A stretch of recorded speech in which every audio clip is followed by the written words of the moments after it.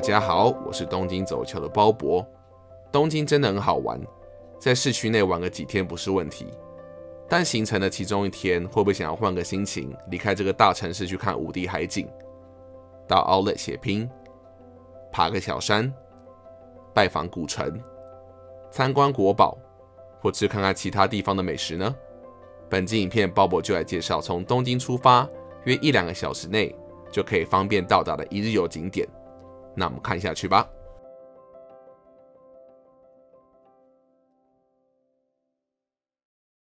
慈城位于关东的东北方，离东京不会很远，大部分大景点搭乘 JR 跟公车都可以到达。本次影片我们就来介绍慈城超大景点长鹿那科市、国营长鹿海滨公园的粉蝶花、水户的日本三明园的街乐园，还有图普市的单车行程，来场春季的慈城一日游。由于春季长鹿海滨公园的粉蝶花非常的知名，为了避免人潮，建议越早出发越好。我们七点左右从上野、品川或东英车站搭乘特急 Tokiwa 或者 Hitachi，不到一个半小时就可以到达盛田站。接下来搭乘巴士，约二十分钟左右就可以到达了。这里约两百一十五公顷，将近大安森林公园的十倍大，原本是军用飞行场以及射击练习场。后来于一九七三年三月，采纳当地居民的希望以和平为主题建园诉求。国营长鹿海滨公园也因此诞生。我们今天的行程比较满，就着重在春天的粉蝶花上。自助旅行的时间比较松的话，大家可以用骑脚车的方式玩个一天。从西门进园区之后，我们直接走到剑琴之丘，也是粉蝶花所在地。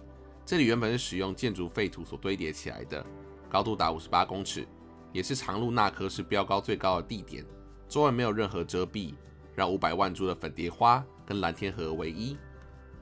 从小丘陵下方拍照，中间拍照，或是顶端拍照，都有不同的美感。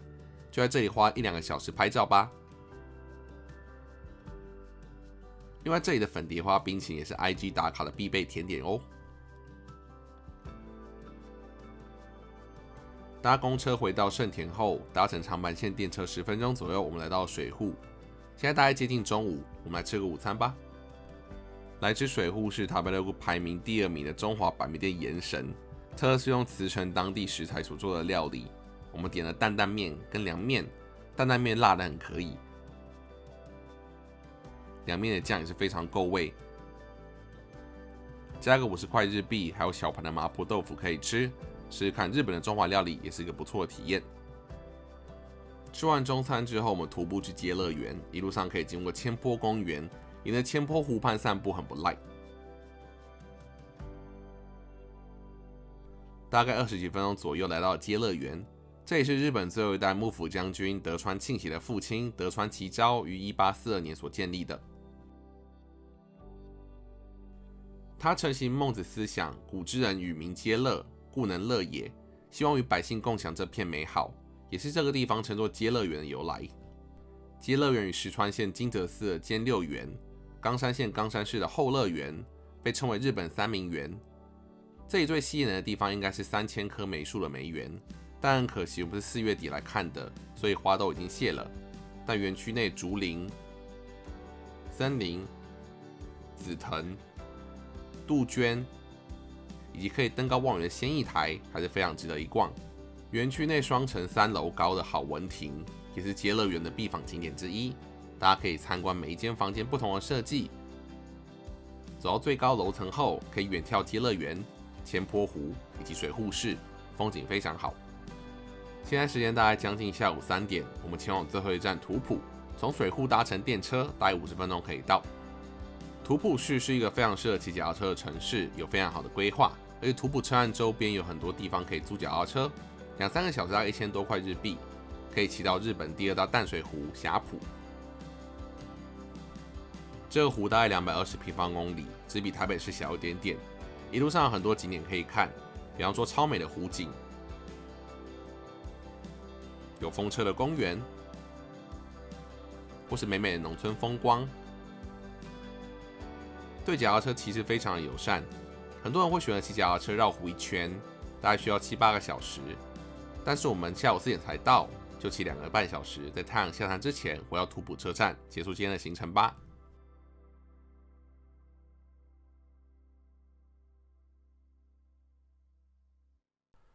镰仓的邻居豆子跟叶山有着悠闲海港小镇的风情。金泽文库的春明寺是一个重要历史史迹，附近有知名大景点横滨八景岛海岛乐园、Uniqlo Park 可以逛街，还可以让小孩子溜滑梯。旁边的 Outlet 麻雀虽小五脏俱全。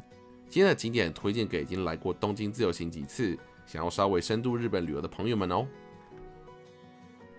我们首先一早大概八点半来到豆子车站。从品川搭车大概一个小时，不用换车就可以到喽。首先从车站前往当地非常知名的咖啡——纳吉萨桥咖啡，但我们可以顺便经过豆仔岸的沙滩。这里在夏天的时候可以说是东京人最爱拜访的海水浴场。鲍勃拜访的时候是五月初，少了人潮，但多了浪漫感。散步到海水浴场的尾端，我们来到南伊萨桥咖啡吃早餐。店外可以看到海，店内可以享受日式复古风的装潢。点个甜甜的法式吐司，配个咖啡，让我们精神饱满的开始一整天吧。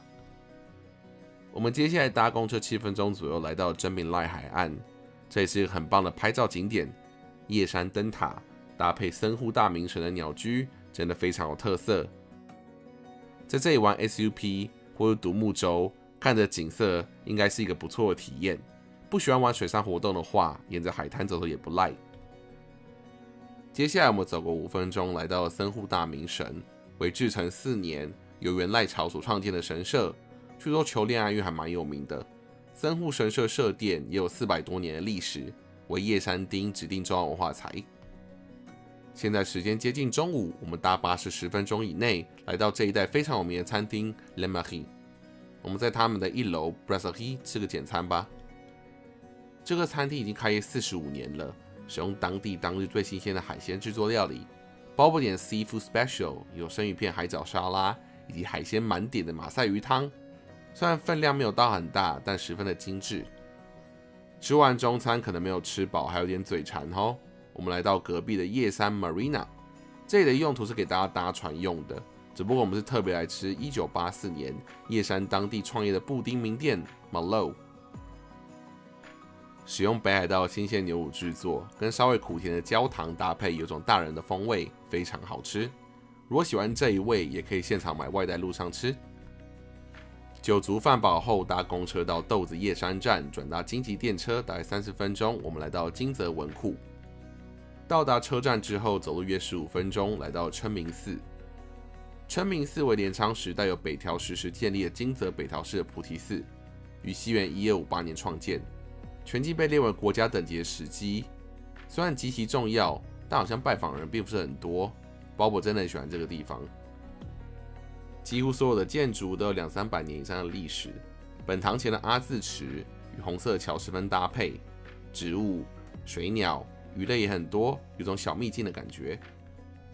在这里待个半个小时左右，现在时间大概下午两三点，我们散步经过海之公园，大概走二十五分钟，来到八景岛。这也可以算是复合式的海洋休闲娱乐设施。到八景岛岛上本身不用钱，不同的设施有不同的价目，大家可以挑几个自己喜欢的游乐设施玩。现在时间大概是下午五点，从八景岛站坐车十五分钟来到鸟滨，来玩今天的最后一个行程吧。首先是 Uniqlo Park，你可能会想，就优衣库而已，干嘛大惊小怪？这家优衣库是由日本知名建筑师藤本壮介所设计的，特色是高三层楼的园区。看起来就像是一个小山一样，这座小山有很多溜滑梯可以让孩子玩。走到顶层的时候，还可以观赏海港美景。Uniqlo Park 的旁边有家三井 Outlet，是二零二零年整修后重新开放，所以设施也非常的新。总共有一百七十间以上的国际及日本品牌，也有不少餐厅。我们就这里逛逛吃吃，结束今天的行程。香根好邻居小田园市。是一个从日本战国时代就开始繁荣的城市，有着宏大的历史，好吃海鲜，位于山中的甜点名店，把这里跟香根旅游的行程放在一起吧。大概早上十点左右，我们来到了小田园站，可以在车站附近走走，这里商业区规划的很不错。接下来我们前往小田园城，小田园城距离小田园站走大概十分钟，交通方便。这里的历史大致上可以追溯到平安时代后期，然后于十五世纪中期由大神寺建立了小田园城郭。一四九五年支配了伊豆国北条早云攻击小田园后，成为了后北条氏的领土，也进行了扩建。在其后易主过几次，到幕府末年一八七一年废城。现在看到天守阁是西元一九六零年所重建的。我们从马出门经过铜门后。从阶梯往上走，再经过长盘木门，就来到了本丸。这里也是观赏天守阁绝佳位置。天守阁三重四阶，包含十元总高三十八点七公尺，总楼面面积大概一千八百平方米。跟日本其他的天守阁比较起来，算是规模蛮大的。每一层楼都可以欣赏到小田园的历史文物。展望台大约是标高六十公尺，可以看到箱根、伊豆半岛，还有相模湾的海景，非常的漂亮。登高望远后，我们走到小田园城内的二宫报德神社，是纪念当地知名思想家二宫尊德，就是那位拿着书走路的二宫金次郎。神社内的 King Jiro 咖啡位置很好，室外的座位很舒服。天气热的时候，点个北海道牛乳制作的双麒麟，边吃边看神社真不赖。离开小田园城也是中餐的时间了，走路十分钟左右，我们来到早川港。由于项目湾是一个深水湾，让这里的渔获非常的充足，也让这里有不少好吃的海鲜食堂。我们来吃瓦拉北菜鱼冻，店内蛮有质感的，海港的炸生鱼，肉质鲜美的煮深海鱼，超级新鲜的生鱼片，还有螃蟹满出来的味增汤，值得。吃完中餐之后，我们走路将搭巴士二十五分钟左右，来到一叶山历史公园。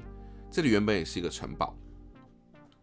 叫做一夜城的原因是，传说丰臣秀吉只花了一个晚上的时间就完成这个城，让当时掌管小田园的北条氏吓一跳，然后重挫他们的士气。丰臣秀吉也因此将小田园城拿下，但实际上这个城堡花了八十天，然后动用了四万人才完成。这区域有两个东京巨蛋的大小，可以慢慢散步逛逛。我们来这里的第二个理由是甜点名店一夜城有了一只卡 farm。也是二零二零甜点百名店，在店里买个好吃的蛋糕或者双麒麟，吃完之后在农场晃晃看风景。散个步打火车大概四十几分钟，我们前往香根汤本吧。这里简单来说就是香根的入口，也是小田急浪漫特快的最后一站，有超过四十间温泉旅馆。如果不住宿的话，当成一天来回的温泉旅游也不错。除了温泉以外，这里的商店街有非常多土产店。比方说，创业超过一百五十年的鱼板专门店林广，和果子百米店骑摩托，国产糯米做的特色商品汤姆奇，包着甜甜的喉冻非常好吃。除了买外带以外，这里有室外座位可以直接享用甜点。如果要吃正餐的话，我们推荐汤叶豆直吉，这是昭和三十年的旅馆改建的餐厅，非常的古色古香。点一碗香根名水鸡汁水，含优质豆浆做的豆腐皮。以及其他豆腐料理，暖暖的真好吃。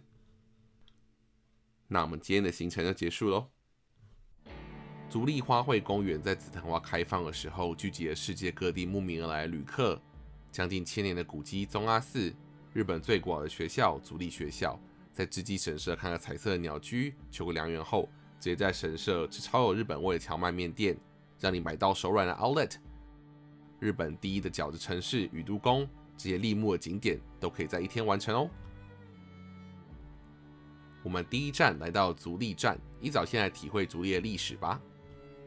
足利市位于立木县，人口大概十六万人，是日本活跃于平安时代到室町时代军事贵族足利氏的发祥地。足利幕府也是日本史上的第二个幕府政权，也因为如此，整个城市也深受到足利家族的影响。大部分的大景点都不在车站附近走路可到的范围，我们就带大家在这里走走吧。我们先前往足利学校。足利学校可以说是日本最古老的学校，创建时间大概是室町时代的中期，也就是十五世纪左右。关东管理上山现实上任之后，开始整修学校，捐赠书籍，招聘校长等等，让这里在十六世纪初期学生人数达到三千人左右。西班牙籍天主教传教士方济沙乌略也向海外介绍，这是日本最大的大学。而境内也有很多珍贵的文化财，比方说进入校舍时可以看到一六六八年建立的学校门，同一年一六六八年建立的孔庙。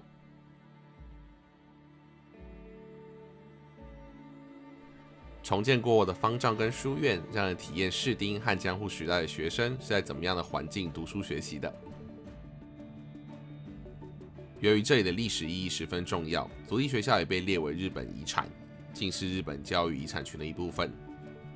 离开学校走个五分钟左右，我们来到了宗阿寺，这里真的让历史迷包博大开眼界。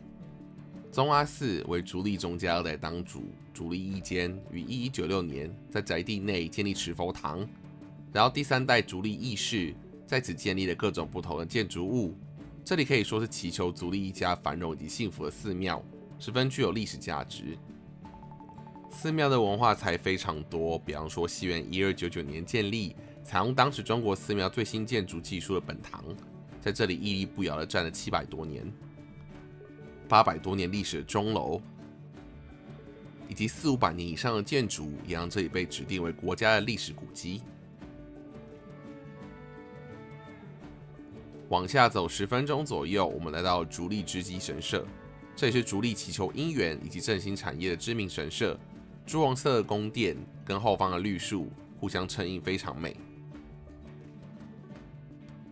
大家也可以远眺竹立市以及整个关东平原的景色。另一个特色是七种不同颜色的鸟居，每一种颜色都可以让你实现不同类型的愿望。在离开这里之前，鲍勃推荐一家神社内的荞麦面荞油庵，在 Google 和塔贝勒哥都有不错的分数。周末的时候可能会有点人潮，要注意一下。荞麦种类非常多，不同的季节也都有不同的口味。面是用江户前的制作方式，吃起来非常的滑顺。还可以点一些小菜配荞麦面吃。店的内观也非常怀旧，搭配室外的树叶跟景色，让食物吃起来更香。吃完中餐，我们往下搭一站，来到今天的大重点——足利花卉公园。从车站下车就可以直接看到公园了。这里每年最有名的时刻就是四月中到五月中的藤之花物语，很多人会从白天一路待到晚上，看这里的打光秀。如果行程不赶的话，大家也可以这样玩。但如果想多体验一点行程的话，我们就在这里待个两个小时左右，就是下一个行程。足利花卉公园共有三百五十株左右的藤花，我们先前往园区最知名的大藤棚，树龄超过一百六十年，在一千平方米的区域生长着。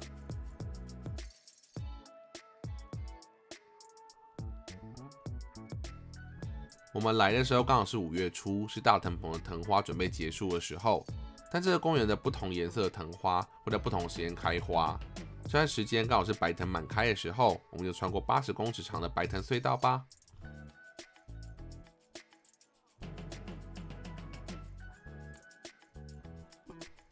除了藤花外，春天也是百花齐放，如诗如画。对了，大家别忘记在这里吃一个紫藤花双擎打卡一下。现在时间大概下午两点左右，我们坐电车加上公车，大概三十分钟，来到有一百八十家店的佐野 Premium Outlet。整个区域设计充满了美国东岸的风情，非常的舒适。国际知名品牌、日本品牌不胜枚举。